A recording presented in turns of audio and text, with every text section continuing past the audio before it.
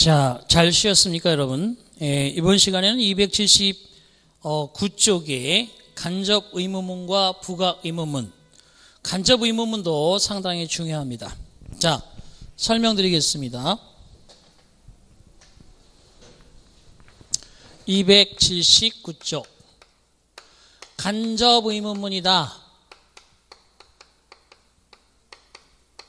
그럼 여러분 숫자 3을 기억하셔야 돼요. 3단계로 기억하셔야 됩니다.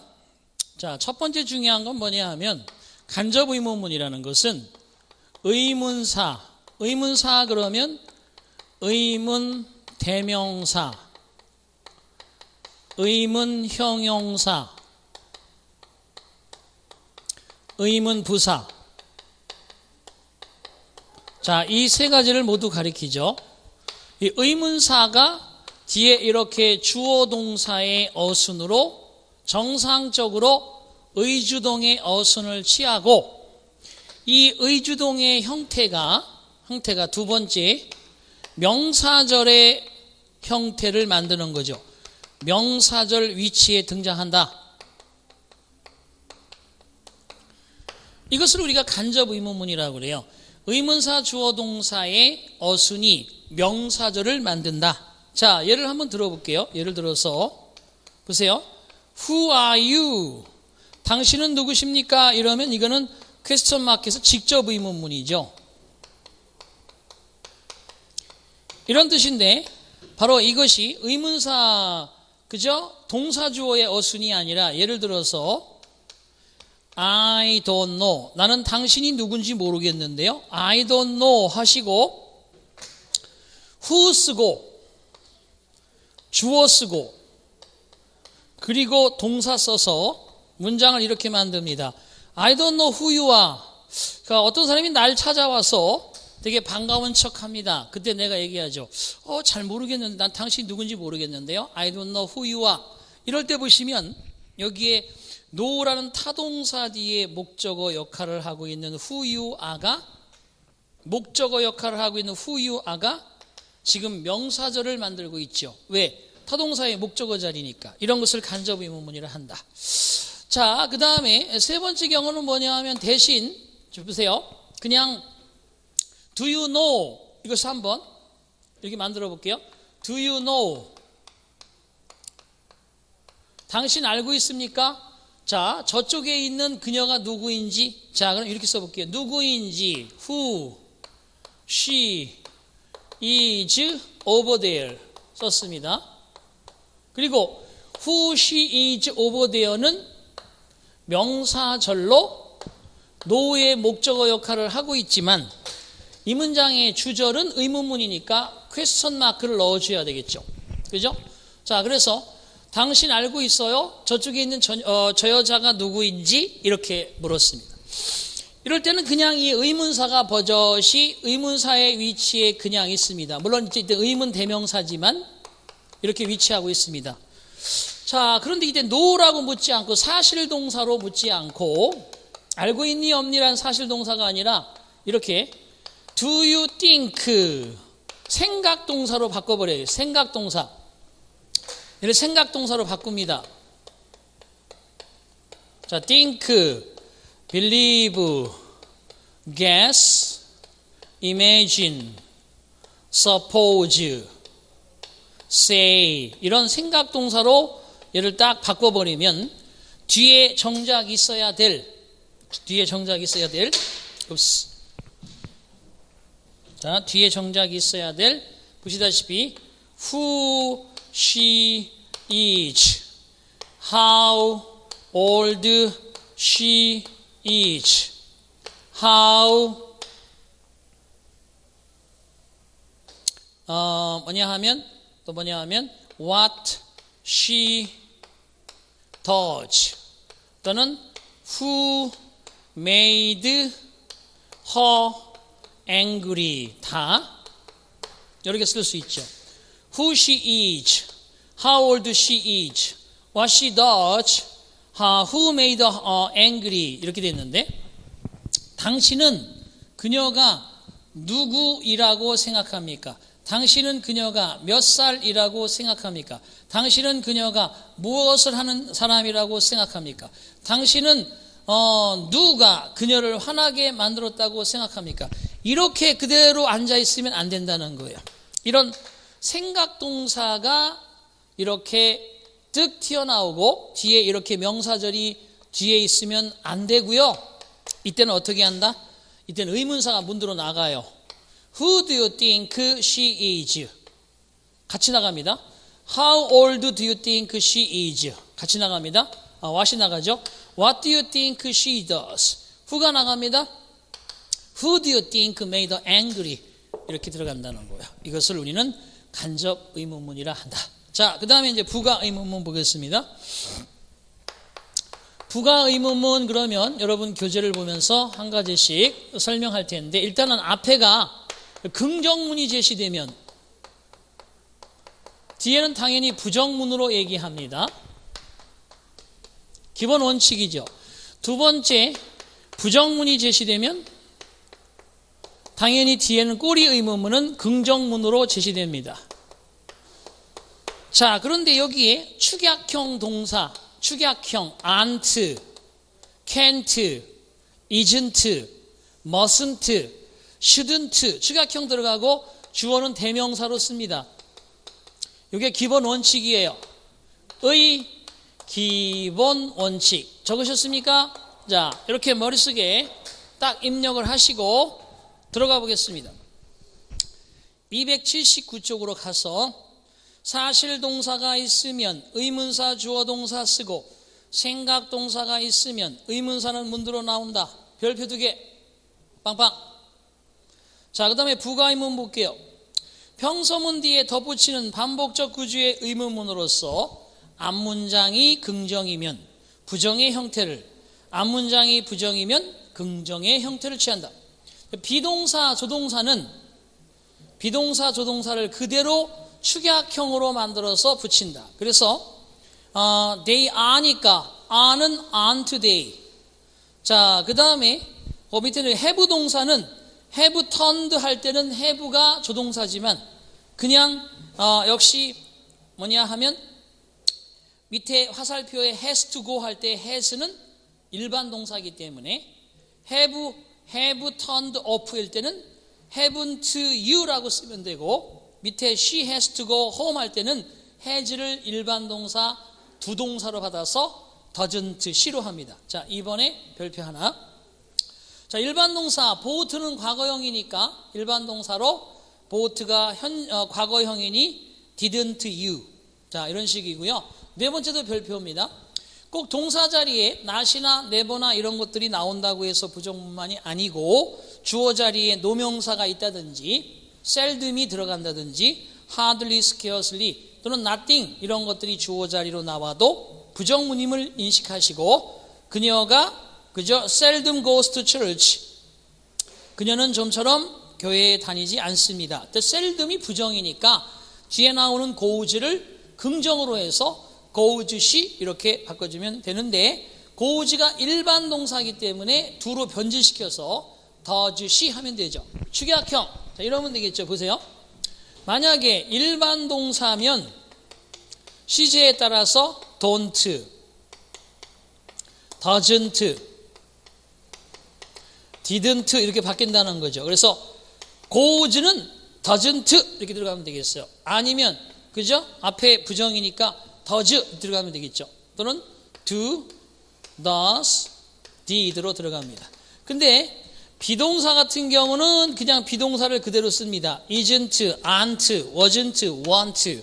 조동사 같은 경우도 조동사를 그대로 사용합니다. can't, won't, mustn't 들어가죠. 그렇죠?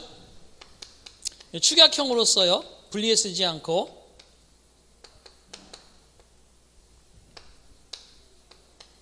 이런 식으로.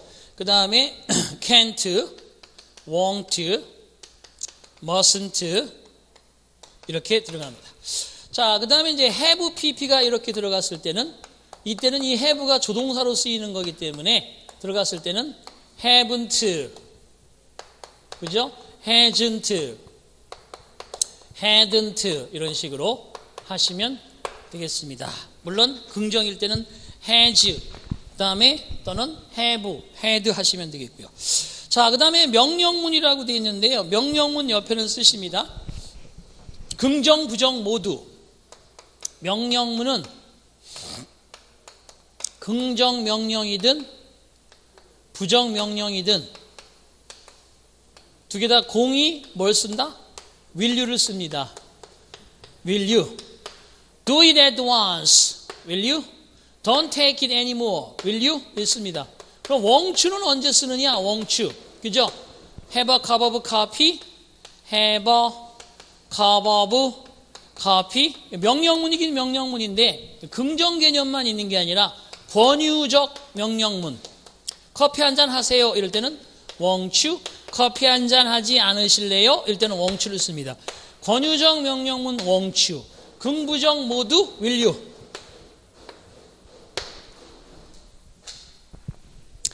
자, 따라서 거기에 나오는 것들도 보시면 그렇습니다. let's는 뭐예요? Let's take a walk, shall we? 그래서 let's는 뭐뭐 합시다, 뭐뭐 합시다라는 제안 명령문이라고 그래서 shall we라고 합니다. let's dance, shall we? let's take a walk, shall we? let's go, shall we? 이렇게 씁니다. 그 다음에 8번 별표 하나. 유도부사 대어는 어, 여기 끝에 붙이는 이 주어를 대명사 it, she, they 뭐 이런 걸로 받지만 대어는 대어로 받아요. 중요합니다. 자 이렇게 해서 우리가 정리를 간단히 했고요. 어, 이 교재에 또 뒷부분에 좀 있으니까 좀 더 추가해서 말씀드리겠습니다. 수사 의문문은 여러분 써놓으시면 되겠죠. 반어법입니다. 반어법. 그죠? 누가 알겠어 그러면 아무도 모른다는 뜻이고 누가 모르겠어 그러면 다 안다는 뜻이고 그죠?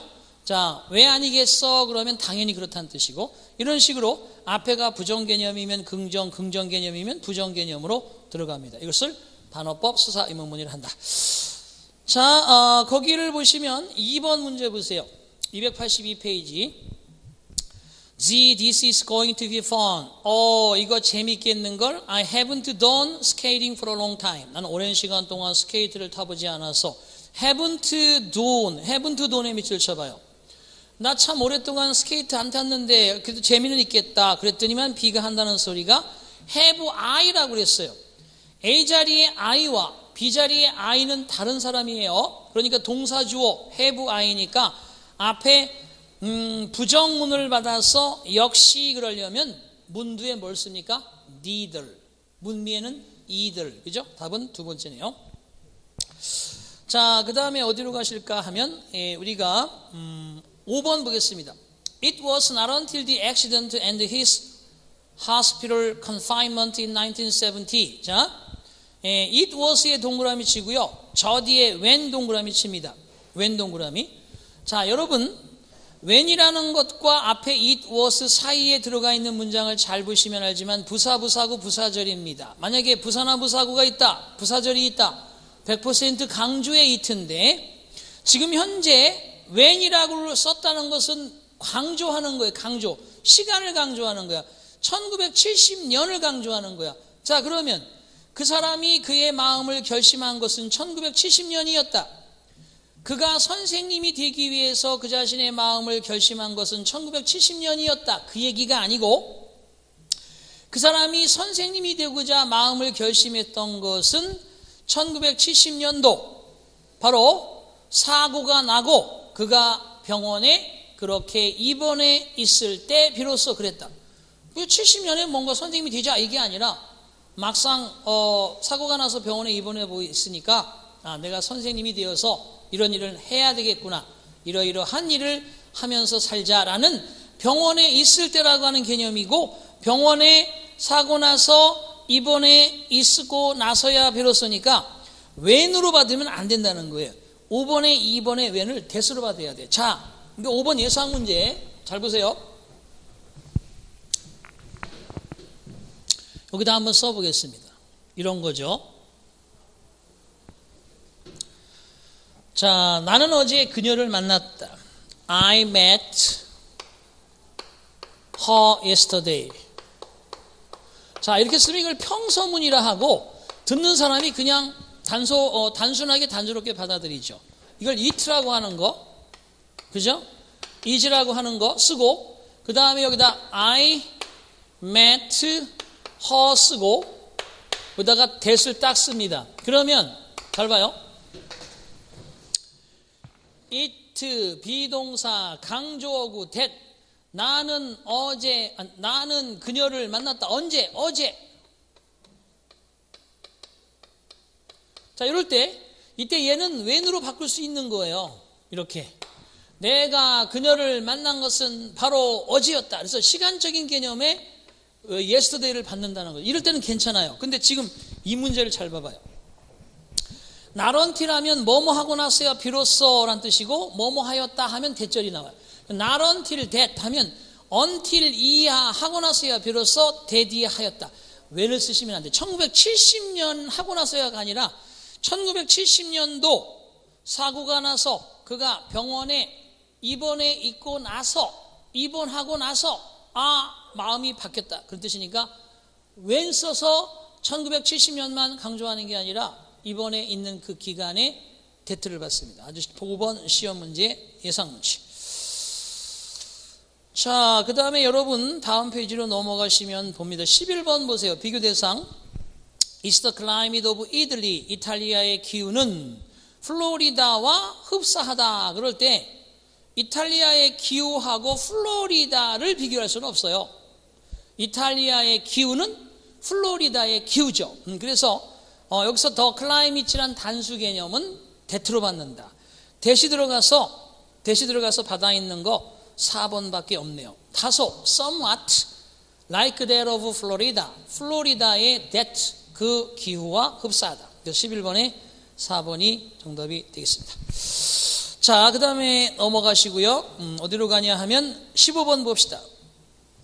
This elevator is out of order. 이 엘리베이터는 고장이 났습니다. 하지만 once are working이라고 되어 있는데 이 엘리베이터는 고장났지만 다른 엘리베이터들은 같은 종류의 엘리베이터가 엘리베이터라는 종류는 같은데 다른 것들을 하니까 원주로 받은 거예요. 그죠? 그러니까 그 원주라고 하는 말을 수식하려면요. 거기 나오는 the another ones가 아니야. 다른 전부. 이 건물 안에 엘리베이터가 한 다섯 여섯 개 있어. 요거 고장이 났어. 다른 거 전부. the 써야 돼, 안 써야 돼? 써야지. 그럼 뭐가 들어가야 돼? 3번이 들어가야죠. the가 들어가고 전부 다. all the other ones. 3번이 정답이에요.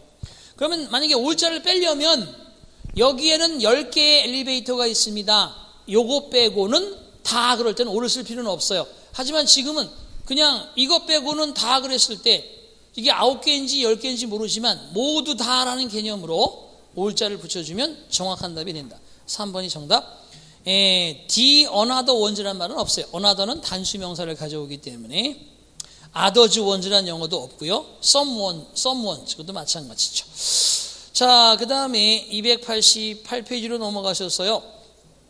음, 거기 나오는 21번 보세요. Nobody speaks more clearly than him인데 어느 누구도 더 분명하게 말하지는 못한다. 비교급 된 다음에 힘이죠. 된은 이런 거예요. 된. He speaks clearly. 그가 명확하게 똑똑하게 말하는 것보다 앞에는 speaks clearly가 있으니까 생략하는 거예요.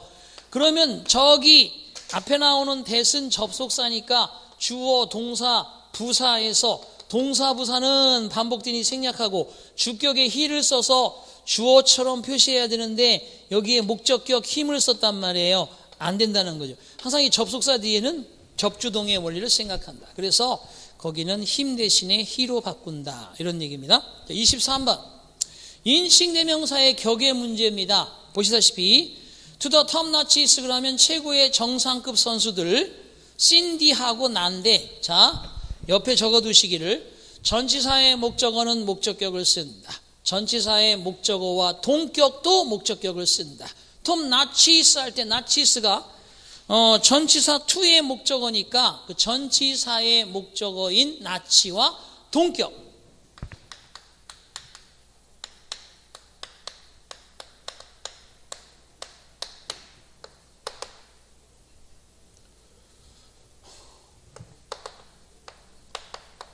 여기 보세요. 이하고 이거 이거 전치사 뒤에 있는 이 목적어하고 얘는 같은 대상이에요. 동격이라고. 목적어하고 동격이면 뭘 써야 되는 거야? 목적격을 써야 되는. 이런 게 그게 틀린다니까. 얼마나 억울해요, 이런 거 틀리면. 그래서 거기는 Cindy and me가 되겠습니다. 23번에 2번 틀렸다. 자, 그 다음에 여러분 290쪽을 보겠습니다. 거기에 26번 보세요. Anything is better than nothing. 어떠한 것도 아무것도 없는 것보다는 더 좋다. 어떤 거라도 있으면 아무것도 없는 것보다는 더 낫다. 당연하죠. 그죠? 근데 anything이라는 것 자체가 anything is better. 어떤 것도 더 좋다.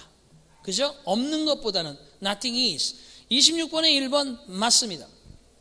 두 번째, I have hardly, hardly any leisure nowadays라 되어 있는데, hardly any는 거의 no의 개념이에요. 그래서 나는 요즘에는 거의 여가가 없다. 그죠? 여가를 아예 거의 갖지 못한다. 어, 거의 어떤 여가도 틈도 없다. 가지고 있지 못하다. 음, 잘 됐습니다. 그래서 hardly any가 노예 개념으로 된다. 3번에 any student didn't solve it. any, any로 시작하는 주어는 긍정문의 주어 자리에 쓰였을 때 전체 개념이라고 했죠. any child can do that. 어떤 아이도 그것은 할 수 있다. 모든 아이가 다 그런 걸 할 수 있다.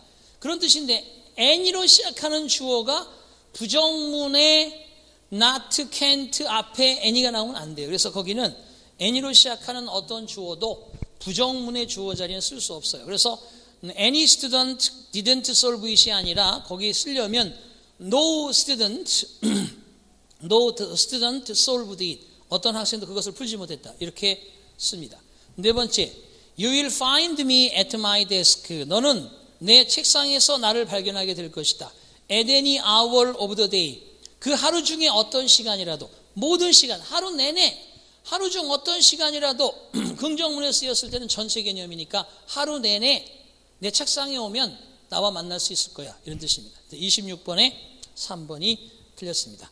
No student solved it. 이렇게 하시면 되겠습니다. 자, 그 다음에 어, 30번 문제 봅니다. 우리말을 영어로 잘못 응역을 골라라라고 되어 있는데요. 어떤 경우에도 낯선 사람들을 들어오게 해서는 안 된다. 온노 어카운트가 네버의 뜻입니다. 그하고 같은 뜻이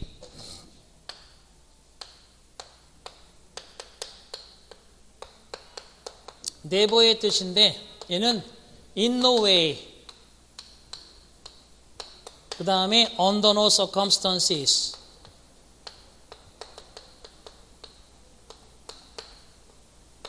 그래서 결코 뭐뭐 아니다 anything but 이런 것들이 있습니다. 자, 그래서 must하고 비동사 사이에 주어가 들어가 있는 도치된 문장입니다. 그 다음에 두 번째, 상처에 염증이 나면 즉시 나에게 전화해. Should, be 사이에 더 wound가 있는데, 이게 이제 주어입니다. 만약에 상처가 염증이 생긴다면 가정법 미래의 강한 의심 구문이에요. 잘 치료했습니다. 그러니 괜찮을 겁니다. 하지만 만약에 상처가 염증이 생기게 된다면 call me 나에게 전화해 주세요. 그래서 가정법 미래의 어, 강한 의심 구문 if 주어 should 원형에서 if를 생략하면 should 주어 동사 원형. 그죠? 잘 됐어요? 자, 다음에 세 번째, 나는 학생들이 수업 시간에 지각하도록 내버려 두지 않겠다. 자, have의 밑줄 것입니다. have는 사역 동사입니다. 사역 동사인데 뒤에 arriving의 동그라미 치세요. 지각 동사 see, watch, hear는 목적어 다음에 목적격 보호 자리에 현재 분사, 원형 부정사 쓸 수 있습니다. 사역 동사 make, have, let는 목적어 다음에 원형 부정사 쓸 수 있습니다. 근데 현재 분사는 안 쓰는데 haven't, haven't, 아, 어, 거기 나오는 have, have 앞에 won't가 있어서 not have라는 개념에 부정적 의미의 have가 있을 때는 부정적 의미의 have가 사역 동사일 때는 현재 분사 써요. 예외적인 겁니다. 그래서 3번도 맞아요. 거기 한번 보실까요? 30번에 3번. 해부 동사가 사역 동사로 때로는 뭐뭇을 시작하도록 만들다, 뭐뭐 하도록 설득하다로 쓰이거나 부정문에서 하도록 허락하다는 뜻일 때 뭐뭐 하도록 허락하다는 뜻일 때 학생들이 뭐뭐 하도록 허락하지 않을 것이다 이 뜻일 때 have 목적어 ing 형태를 취한다. 허락하다는 의미일 때 물론 부정이니까 그럴 때는 ing를 쓴다. 자, 그 다음에 네 번째 보세요. 두 명의 가수 모두 넓은 음영의 풍부한 목소리를 가지고 있다. 이건 뭐야? 두 명 모두 그러면 보스를 쓴다고 그랬잖아요. 그죠? 두 명 모두는 보스를 쓴다. 그래서, 자, 둘 다 하면 보스. 둘 중에 하나 그러면 이들. 둘 다 아니다 그러면 니들. 이렇게 씁니다. 그래서 보스, 둘 중 하나, 둘 다 아님. 이렇게 쓰겠습니다. 결과적으로 가수들 중에서 어떤 한 명이 아니라 가수 모두 다 풍부한 음역대의 목소리를 가지고 있다 그러면 both of the singers have를 쓰셔야 되겠죠. both of the singers have를 쓰시면 됩니다. 오케이. 30번에 4번. 자, 이렇게 해서 우리가 대망의 대명사를 마쳤습니다. 어, 사실은 관사명사보다 대명사가 훨씬 중요하기 때문에 조금 자세히 하다 보니까 음, 당연히 시간이 걸렸고요. 어, 다음 시간에는 우리가 이제 드디어 관계사, 관계사 하면 관계 대명사에 되어 있는 건데 반드시 실제가 되죠. 관계 대명사 오히려 점수 딸 수 있습니다. 어, 역시 가장 기본적인 발음 라인부터 하이 레벨스까지 차례대로 쫙 설명을 드릴 테니까 쫙 쉬시고 컴백하시기 바랍니다. 자, 잠시 뒤에 돌아옵니다. 수고하셨습니다.